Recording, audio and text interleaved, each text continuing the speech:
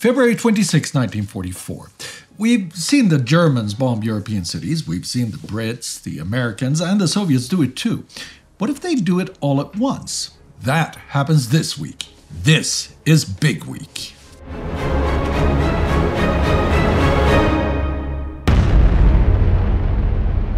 This is War Against Humanity, a series of World War II in real time. I'm Spartacus Olsson.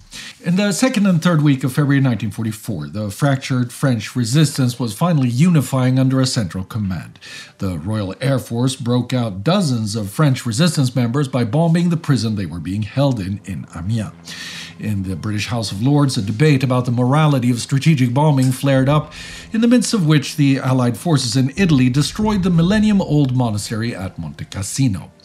In Lithuania and Greece, the anti communist resistance entered into tentative cooperation agreements with their German occupiers. In Poland, the Home Army ramped up Operation Tempest to fight the German occupiers, while the US declared neutrality in the Polish Soviet border dispute.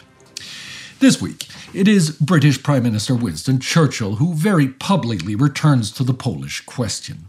Now, on the 21st, Churchill messages Stalin that the Polish government in exile is ready to accept the Curzon line. Like US President Franklin Roosevelt last week, he tries to convince Soviet de facto dictator Joseph Stalin to accept an independent Polish government. Churchill reassures the Soviet top dog that by the time diplomatic relations are restored, the Polish government will consist of members willing to cooperate with Moscow. Stalin remains unconvinced. The next day, Churchill holds a speech in the House of Commons, publicly proclaiming support for the Soviet border demands, misrepresenting Stalin's position. It was with great pleasure that I heard from Marshal Stalin that he too was resolved upon the creation and maintenance of a strong, integral, independent Poland as one of the leading powers in Europe. I am convinced that they represent the settled policy of the Soviet Union.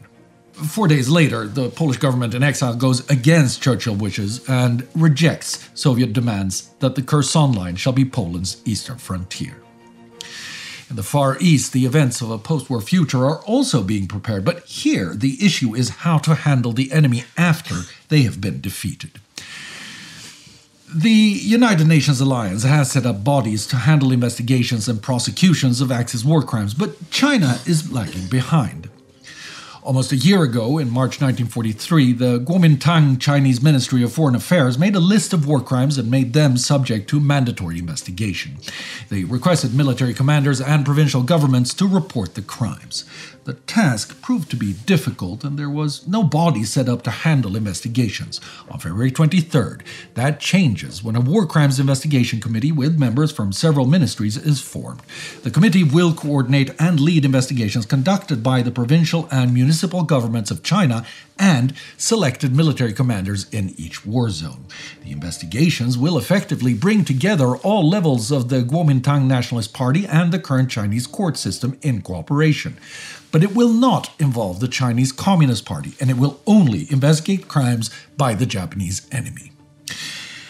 As past Axis crimes come under more and more investigation, there seems to be no end to new Axis crimes to investigate. In Auschwitz on February 23rd, a train arrives with several hundred Jews from the Vaivara concentration camp near Narva. Vaivara is the biggest of the 22 Nazi camps in occupied Estonia. When the ghettos in Vilnius and Kovno were liquidated last year, some of those not murdered in the liquidation ended up here. Until now, their fate was undecided. At Auschwitz, they are murdered on arrival. On this day, the Nazis make no record of the names and numbers of people killed. They simply herd them into the gas chambers to an anonymous death.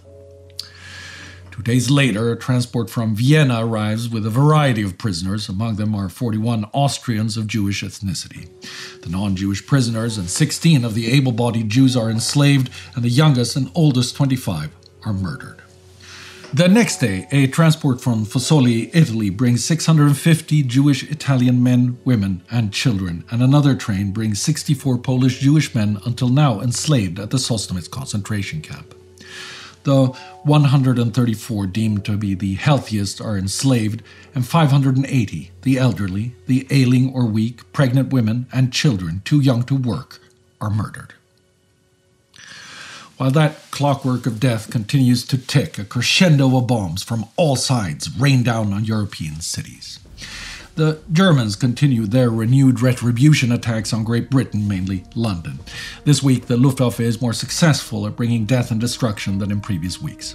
Since last night of last week, they are bombing London nightly. Now, during the Blitz of 1941, the Germans were using a more targeted approach than the RAF, with dive bombers playing a significant part. The RAF, on the other hand, have used mainly area or carpet bombing with significantly more effect but less precision. The Germans have now adopted the same tactic, but with far fewer bombers than the British can deploy. In the night into February 21st, for the first time, most of the bomber stream manages to converge over London. The raid ignites 480 fires. 179 civilians are killed immediately, 65 reported missing are also presumed dead, and 484 are seriously injured. Destruction is widespread, with interrupted underground services, cut water mains, and blocked streets, and over 200 houses damaged. The next night, they come again. This time, they cause many more fires. The boroughs of Fulham, Putney, and Chiswick bear the brunt of the attack. Fulham alone is hit by 20,000 incendiary bombs, causing 642 fires. Later calculations will show that had the RAF failed to divert a few less, or not shoot down all of the nine bombers they did, a firestorm would likely have erupted here. The government quarters at Westminster is hit by four heavy bombs. One on Whitehall kills four people on the corner of 10 Downing Street. Horse Guards Parade, St. James Park, the Admiralty, and the War Office are damaged. Six bombs hit the Grange at South Mimms, where Queen Wilhelmina of the Netherlands' residence in exile is situated. Her Majesty narrowly escapes being hit, but two of her staff are killed. The raid causes 216 dead and 417 seriously injured.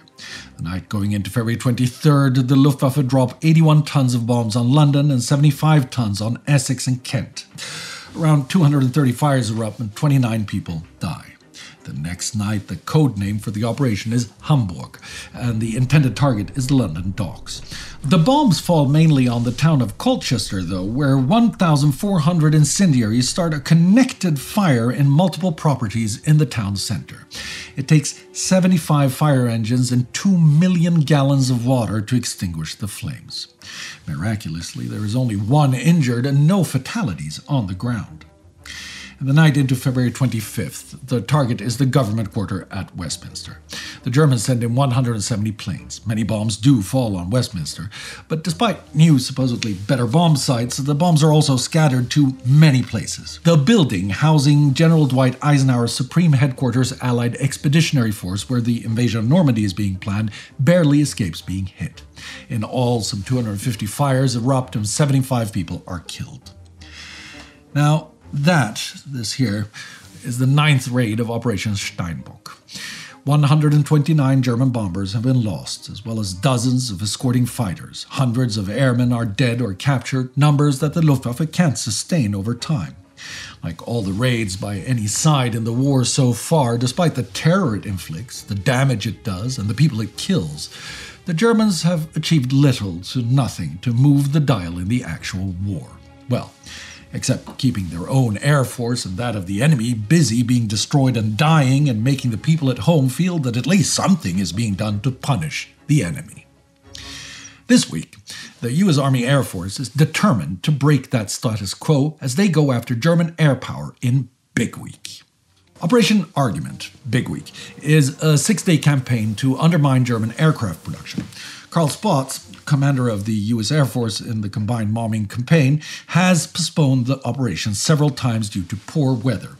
But this week, the skies are clearer. To avoid the previous disastrous losses, the fighter escorts ranges have been extended with drop tanks, formation training has been intensified, and the attack patterns altered.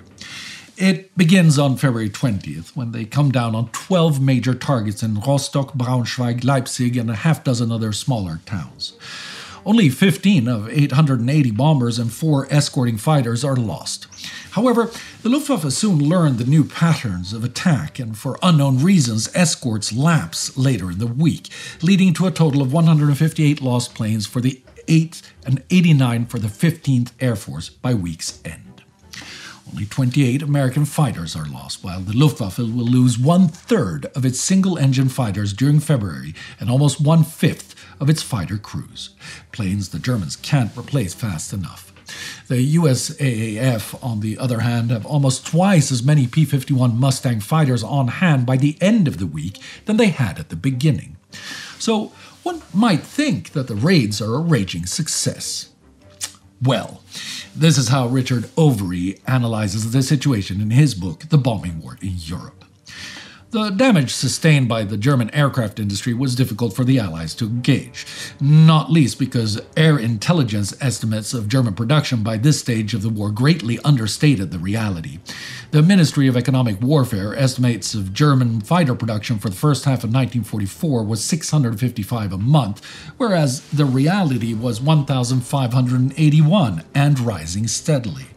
The aero engine industry, more difficult to disperse and more vulnerable, was not attacked, a failure that Goering later pointed out to his post war interrogators.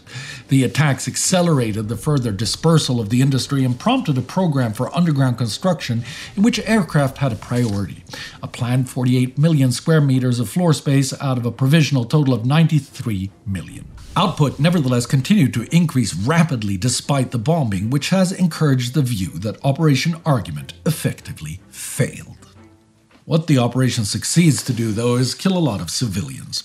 Arthur Harris, RAF Bomber Command, is flying parallel missions. Although he has previously refused to target industry primarily, he does try this week. It doesn't work, and he again hits mostly civilian targets.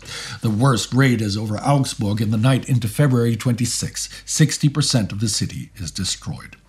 Casualty rates for civilians, POW, and forced laborers are not tallied for the specific raids, as it is by now hard to assign them to one definitive event. Reasonable estimates range from several hundred, possibly thousands, of dead. The worst incident for the Americans happens on February 22nd. On this day, a lot of things go wrong. Many planes fail to take off, and even more get recalled due to unexpected low cloud cover over Germany. As they return, they are attacked by the Luftwaffe. The weather, the attacking fighters, and the general confusion disperses them. The standing order is that if the intended target is abandoned, they must look for targets of opportunity. The bombers that had reached Germany now try to unload their bombs on railroad junctions, train stations, and factories on their way back. Now, in the chaos, they don't know exactly where they are, and the targets are only identified visually. They mistakenly assume that they are still over Germany. Instead, they are bombing Nijmegen, Arnhem, Deventer, and Enschede in the Netherlands. They hit mostly residential areas, killing 40 in Enschede, 57 in Arnhem, and 880 in Nijmegen. Countless more are injured. 1,270 buildings are destroyed, leaving several thousand families homeless. The next day, the weather is still poor, and operations are suspended as an investigation is launched into the previous day's tragedy. The Dutch government in exile and the US embassy quickly agreed that it's a tragic operational mistake. The German occupiers in the Netherlands seize on the propaganda opportunity, having the Nazi controlled Dutch press publish things like this. The Anglo American pirates of the sky have once again executed the orders of their Jewish capitalist leaders with extraordinarily positive results. Now, while these raids have some kind of success, for better or worse, the massive raids the Soviet Union is carrying out against their Finnish enemy in February 1944 are a complete bust. In the last night of this week, the Soviet Air Force, the VVS, carry out their third and final attack of the month on Helsinki. 896 bombers come in three waves, dropping thousands of bombs. The Soviets are convinced that they have now destroyed the city, killed hundreds, perhaps thousands of civilians, and that the Finns will thereby be forced to the negotiating table. They are mistaken. As the Soviet led military commission visiting Helsinki shortly after the war will note in astonishment, in all these raids, the VVS have consequently missed the capital, dropping most of their bombs in the wilderness. Of the 5,182 bombs dropped in the final raid, only 290 fall on the city. Civilians are mostly evacuated since long, and any people remaining are warned over 90 minutes ahead of time thanks to effective radar monitoring. Instead of thousands killed, the combined death toll for the three raids is in the dozens. While they fail here, the Soviets succeed in the complete cleansing of two entire ethnicities this week.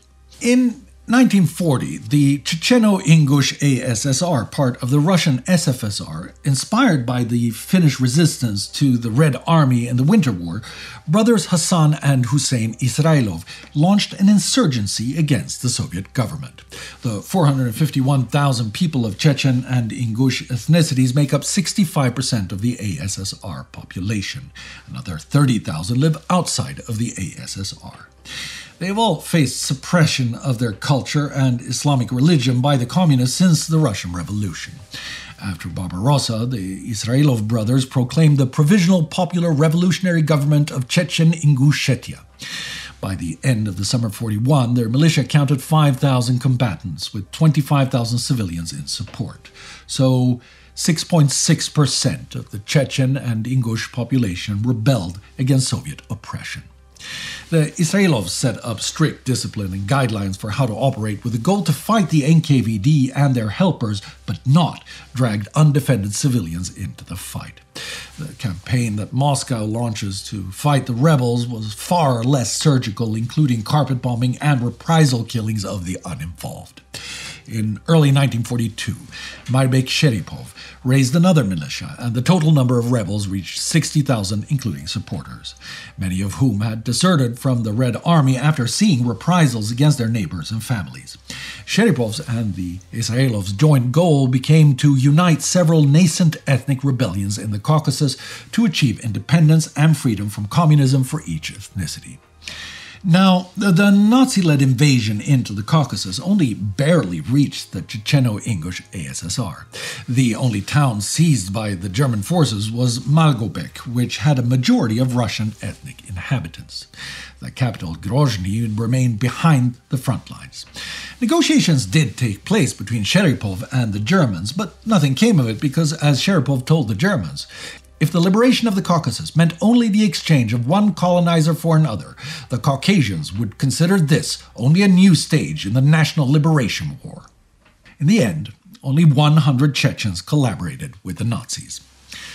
Now, after the Germans retreated, it is time for the Soviets to quell the rebellion once and for all.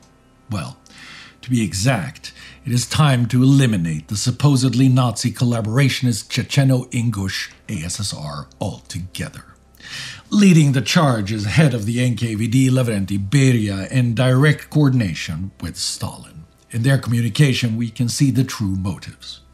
Beria tells the dictator that the Chechens have a low level of labor discipline, that there is prevalence of banditry and terrorism, alludes to the failure of the Chechens to join the Communist Party, and points to the confession of a German agent that he found a lot of supporters among the local Ingush. In the past month, Beria has moved 100,000 NKVD operatives into the ASSR, ostensibly to provide humanitarian aid. Many of them are housed on friendly terms with the very families they are about to go after. On February 20th, Beria personally comes to Grozny to oversee Operation Lentil. Three days later, February 23rd, is Red Army Day, and the operation begins. Going house to house, they force the families to pack their belongings in only 20 to 30 minutes. When the NKVD meets resistance, they respond with slaughter, like in the All of Khaibakh, where some 700 people are locked in a barn and burned to death by NKVD General Mikhail Gvishiani, who receives praise and the promise of a medal from Beria. In remote villages, the entire population is killed on Beria's orders as they are considered too cumbersome to transport, as are those straggling or left behind when the transports are full. They combed the huts to make sure there was no one left behind. The soldier who came into the house did not want to bend down. He raked the hut with a burst from his submachine gun. Blood trickled out from under the bench where a child was hiding. The mother screamed and hurled herself at the soldier. He shot her too. There was not enough rolling stock. Those left behind were shot. The bodies were covered with earth and sand carelessly. The shooting had also been careless, and people started wriggling out of the sand like worms. The NKVD men spent the whole night shooting them all over again. In less than a week, the NKVD round up the entire Chechen and Ingush population. In the first day alone, 176,950 people are loaded onto Studebaker US 6 trucks and taken to the unheated and uninsulated freight cars. The 180 trains will run until March 13th and travel over 3,000 kilometers to discharge their human cargo into desolate areas of Central Asia, devoid of shelters or food. Most end up in the Kazakh SSR, a large number in the Kyrgyz SSR, and a lesser number of deportees in the Uzbek SSR, Russian SFSR, and Tajik SSR. In all, 478,479 Chechens, Ingush, and Russian women married to Chechen or Ingush men are removed. Half of the deported are children. Many die on the trains, others of exposure and starvation in their desolate new homes.